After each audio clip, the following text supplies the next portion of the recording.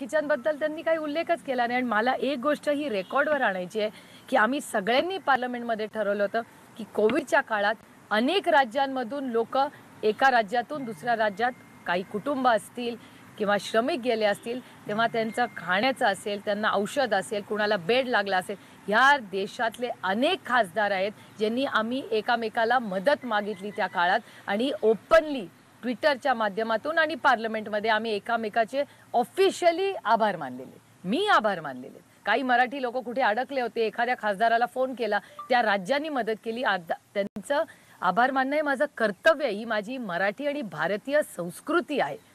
तसंच अनेक भाजपचे खासदार आहेत ज्यांनी ऑन रेकॉर्ड महाराष्ट्राचे आभार मानलेत की आमच्या छत्तीसगड असेल झारखंड असेल युपी असेल बिहार असेल त्यांचे आम्हाला फोन आले आणि त्यांचाही मनाचा मोठेपणा आहे की त्यांनी पार्लमेंटमध्ये महाराष्ट्र सरकारचे आमच्या सगळ्यांचे आभार मानले. काय माणुसकी विसरलोय आपण? इतकं आपलं राजकारण आता अशी इतकी पातळी झाली आपली खालची की आपण माणुसकी पण विसरणार आहोत अशा काळात.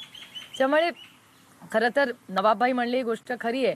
की कोण कोविड स्प- सुपर स्प्रेडर आहे हे प्रत्येकाने आत्मचिंतन केलं पाहिजे. एक लॉकडाऊन करायच्या आधी मी तुम्हाला मला आठवतं आहे पार्लमेंट सुरू होतं. आणि पार्लमेंटमध्ये ऑन रेकॉर्ड तुम्ही ही गोष्ट चेक करू शकता कारण का मी कुठलीही गोष्ट कुठलाही आधार किंवा सत्य असल्याशिवाय उगाच खोटे नाटे आरोप करत नाही कधी कुणावर. पण माननीय सौगता रॉय जे पार्लमेंटमध्ये बोलले तृणमूल काँग्रेसचे आहेत. ते स्वतः माननीय प्रधानमंत्र्यांपर्यंत चालत गेले पार्लमेंटमध्ये आणि म्हणाले सगळ्यांचं मत आहे की पार्लमेंट आपण लवकर संपवलं पाहिजे.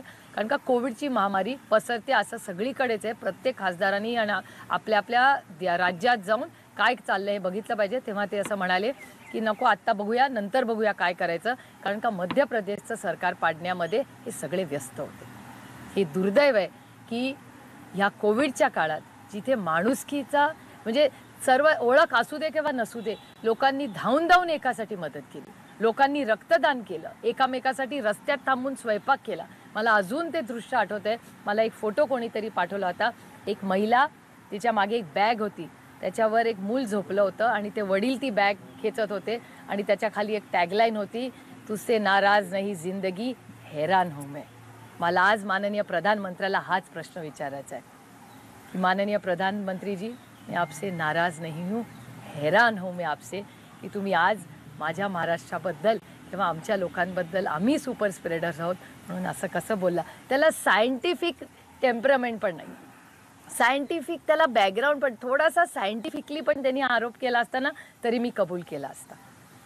पण कसं काय ते असं बोलले? खरंच असली म्हणजे आणि मी तुम्हाला एव्हिडन्स बेस सगळं सांगितलंय. मी टीका करायची म्हणून त्यांच्यावर टीका करत नाही पण मी एक महाराष्ट्रातली मुलगी म्हणून एक खासदार म्हणून आज या प्रधानमंत्र्याकडे न्याय मागते की का तुम्ही आमच्यावर असं टीका केली? का तुम्ही आमच्या असा विरोधात बोलला? किंवा का तुम्ही असा द्वेष राज्या राज्यांमध्ये पसरवताय? ही एक प्रांजळ महिला आज प्रधानमंत्र्याकडे न्याय मागते नाही, मग ही काय कारण प्रतिक्रिया, वाटतंय? काय कारण राज्याच्या वाटतं? निवडणुका आलेल्या आहेत त्यामुळं निवडणुकीच्या दृष्टीनं विधान आहे असं वाटतं आणि महाराष्ट्राबद्दल इतका द्वेष का काय वाटतं तुम्हाला त्यांना महाराष्ट्राबद्दल